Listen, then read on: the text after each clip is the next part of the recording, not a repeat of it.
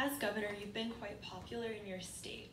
So why not enter the 2020 Senate race against Senator Gardner and attempt to flip the Senate blue and get rid of Mitch McConnell's monopoly on policymaking? All right, a, a fair question. Um, you're not the first person to ask me that question.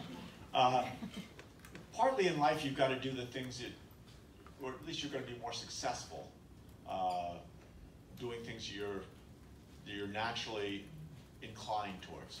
What I love most is putting teams together, uh, you know, getting the best people, whether it's after the election's over, whether it's Republicans or Democrats, whether they're from a business background or nonprofits or from an academic background, putting these remarkably diverse teams together and doing the big progressive, progressive things that, that Washington hasn't been able to do.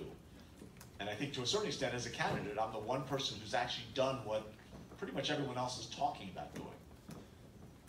That makes me feel that I should continue this effort to become the, the Democratic nomination, to win the Democratic nomination for president, uh, because I think when you think about who is going to be able to beat Donald Trump in Ohio and, and North Carolina, I think by many many evaluations, it's it's more likely me. We have several great Democrats in Colorado that I think are going to be able to beat Cory Gardner like a drum. Cory Gardner has sided relentlessly with President Trump. President Trump is unpopular in, in Colorado. I don't think they need me uh, to beat, beat him, uh, to beat Cory Gardner. And I hope, I, I believe that I will do a better job of, of beating Donald Trump than the other candidates. Now, you know, obviously not everyone, at 1% of the polls, I can't be too confident I'm going to get the nomination.